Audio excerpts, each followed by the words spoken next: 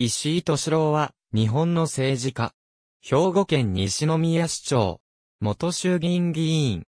自治大臣や国家公安委員会委員長、国土庁長官、民主党副代表、衆議院議員、参議院議員等を歴任した石井はじめは叔父で、後に養子縁組した。また、元参議院議員の石井十二も叔父。兵庫県議会議員の石井健一郎は2位。兵庫県芦屋市生まれ。世田谷区立船橋小学校、早稲田中学校、高等学校卒業。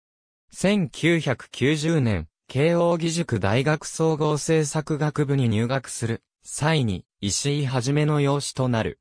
1994年3月、同大学卒業。同年4月、神戸製鋼所に就職。アメリカ合衆国ペンシルベニア大学大学院に留学。1999年5月、同大学院の公共政策学習志号を取得。帰国後は、日本総合研究所副主任研究員を経て、2001年7月に、鈴木博士参議院議員の政策担当秘書となった。2005年8月、民主党は兵庫7区に、石井を擁立する方針を決定。前回総選挙まで、民主党は兵庫7区に候補を擁立せず、社会民主党の同意高子を推薦してきたが、2003年の第43回衆議院議員総選挙での同意の敗北を理由に民主党は選挙協力を打ち切った。第44回衆議院議員総選挙では前回総選挙で土井を破った自由民主党前職の大前茂雄が当選し、石井は時点で落選した。なおこの選挙では兵庫1区で12期目の当選を期した叔父の石井、はじめも自民党大賞の煽りを受けて落選した。2009年の第45回衆議院議員総選挙に再び、兵庫7区から民主党公認で出馬し、前回敗れた自民党の大前を8万票町の大差で破り、初当選した。2011年8月26日、菅直人首相が民主党代表辞任を正式に表明。菅の辞任に伴う代表選挙では、馬淵澄夫の推薦人に名を連ねた。2012年の第46回衆議院議員総選挙では、民主党公認で兵庫7区から出馬したが、自民党新人の山田健二、みんなの党新人の畠中三成に敗れ、比例復活もならず落選した。2014年の第47回衆議院議員総選挙でも民主党公認で兵庫7区から出馬したが、再び自民党の山田に敗れ、落選した。2016年5月、民進党を離党した。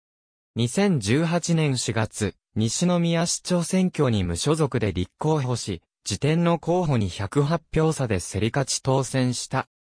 前任の今村学士が任期をわずかに残して、辞職していたため、投票日の4月15日付で、西宮市長に就任し、翌々日の4月17日に、西宮市役所に初登庁した。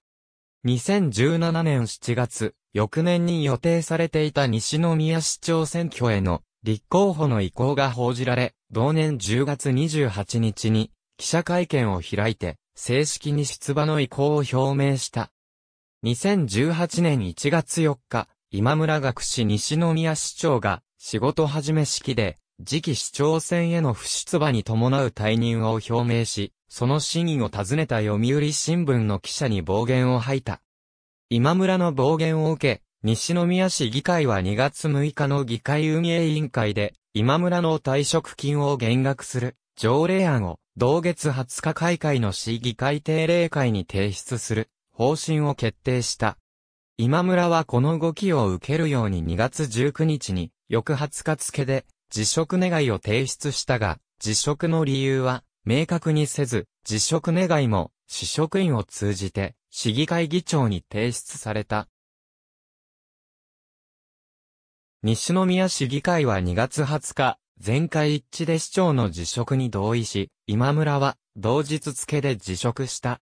今村の辞職を受け、西宮市長選は予定よりも1週間前倒しで実施され、石井のほか、西宮市選出の兵庫県議会議員だった吉岡正和、元副市長の元井敏夫、元火災市長の中川洋蔵ら6人が立候補した。